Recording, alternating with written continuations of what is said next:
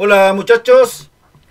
Bueno, hay varias polémicas si es así o no es así. Incluso se dice que después cuando volvió el buque invencible, el portaaviones británico, fue pintado y recondicionado, incluso las calderas externa y pintado interior y externamente, cuando volvió al Reino Unido. Espero que el video no salga tan largo. Eh, esta es la segunda vez que lo hago. Es una investigación que se hizo después de 40 años de la campaña de Malvinas en el año 1982. Eh, lo pueden encontrar en Noticias Militares América Latina. Quiero darle un saludo a la persona que nos envió esta información que me parece muy muy interesante. Vamos a sacar esto para acá. Y vamos a hacerlo lo más breve posible. ¿ya? Veamos la investigación que se hace. Estos dos documentos son muy muy importantes. ¿Por qué? Porque de cierta forma uno revela la, el tema del funcionamiento de este buque, el Invencible, en esa zona donde se da a conocer de cierta forma la proyección de eh, la Fuerza Aérea para atacar este tipo de buque.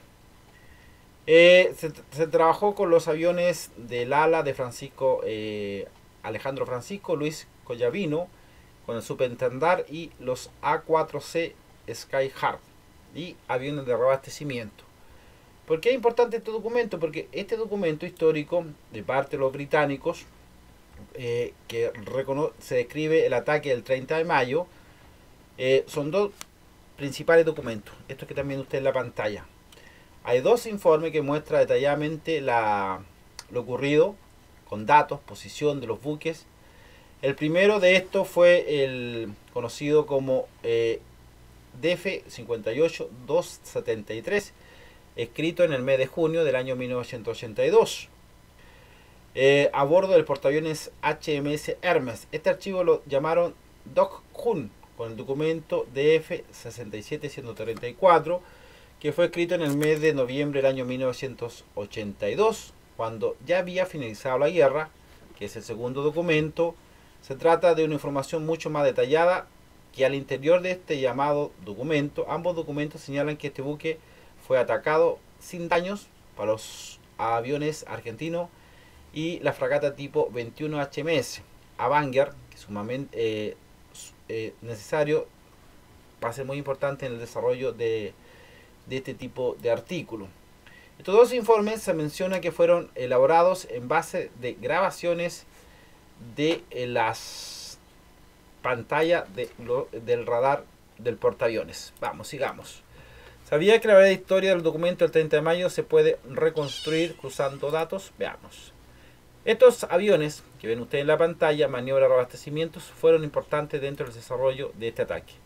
Momento preciso, vuelan de Río Gallegos, Río Grande, los KC-130 tienen un punto de encuentro y ese punto de encuentro se llama reabastecimiento. Acá la sonda de los A4C y eh, se reabastecen y van hacia, eh, en picada hacia, de cierta forma, hacia la Invencible. Los pilotos de los superestandar Francisco Collavino detectan, eh, por radar el invisible a 400 millas. Se comunican entre ellos para verificar datos y sus voces son escuchadas claramente. Aquí podemos ver los secos en la pantalla. Se ubican ahora a 30 millas del Invencible. El superestandar es, están emitiendo con sus radares para poder pasar los datos de posición a los misiles, eh, las emisiones que son detectadas. Ahí podemos ver 0,1, un minuto. Acá a 21 millas el Invencible. Los aviones son captados por el Exector a 28 millas, que es ese buque que está viendo en la pantalla. Y Francisco decide postergar unos segundos eh, dicho disparo. Después, a 17 millas, Francisco lanza un misil Exosec hacia el HMS Invencible. De lanzamiento no es detectado por los buques británicos. Los cuatro, Hat de Baque, Castillo Ureta, Isaac siguen al misil. Aquí, incluso los minutos en la parte superior de su pantalla, el superestandar se encuentra realizando un giro hacia la izquierda para retornar a la base. Ambos aviones son detectados a 14.5 millas del Invencible. Por los británicos creen que aquí se lanzó el Exosec. Y aquí vamos vamos a ver una gráfica muy interesante. A 04, los británicos creen erróneamente que derribaron un avión argentino con el segundo misil sea SAR lanzado por el HMS Exector.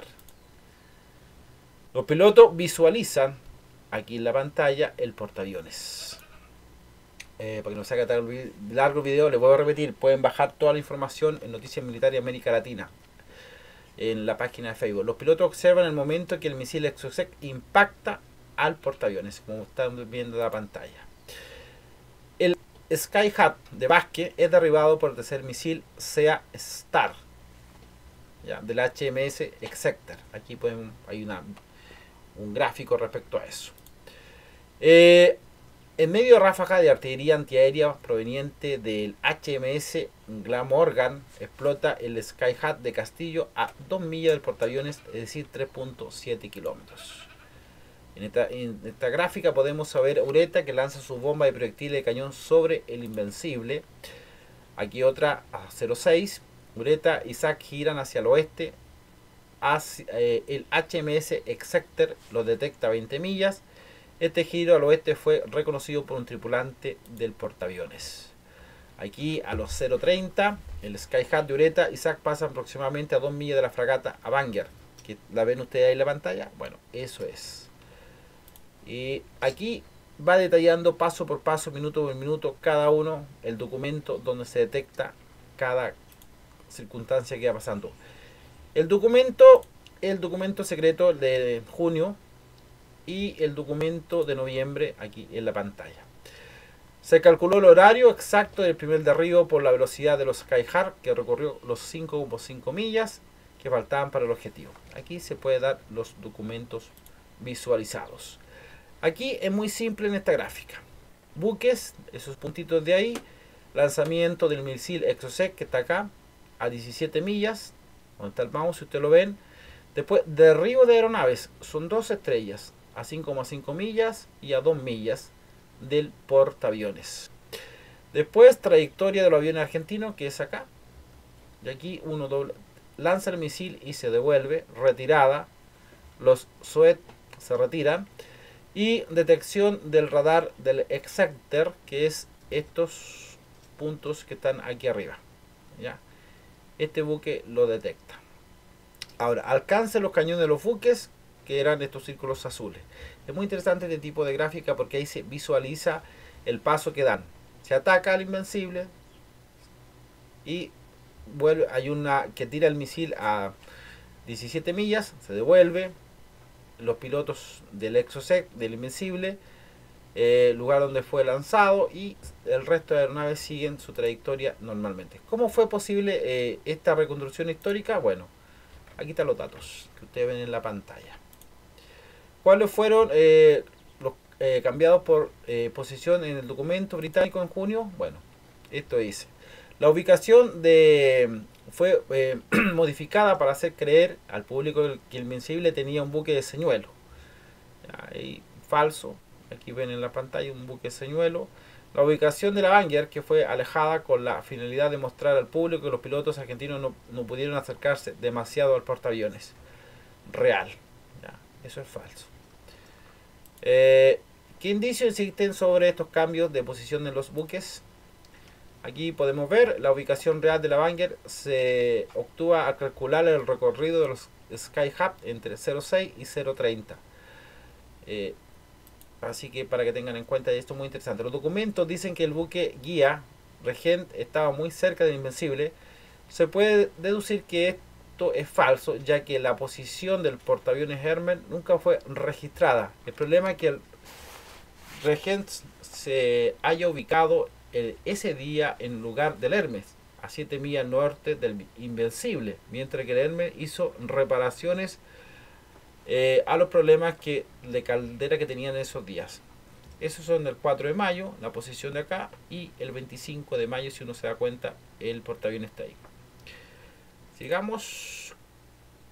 Se cambió la posición de algún buque en el documento británico en noviembre. Aquí, esto es el documento de noviembre, según la Ryan Novi, tuvo consideración el momento de deformar datos. Se trata de una falsedad evidente, documento que los británicos no pudieron justificar. Eh, la modificación se debió seguramente a la proximidad de la del misil Exocet que se la versión requerida. Aquí estaba el Invencible, el documento de junio, noviembre. ¿ya? falso, verdadero.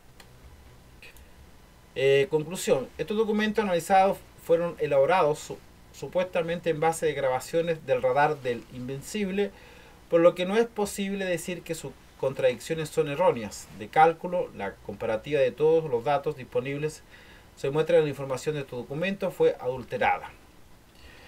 Bueno, ahí pueden seguir. Eh, le voy a repetir, si quieren bajar el documento completo, eh, lo pueden bajar respecto, bueno, del documento que yo le mencioné y de la página, porque sale detalladamente. Estos pilotos argentinos, la verdad las cosas, hicieron cosas que nadie hasta ahora había hecho y pelear en una zona complicada. Hay testimonio de pilotos, antecedentes históricos que son muy valiosos. Quería hacer este video para que y darle las gracias a la persona también que nos colaboró con esta información.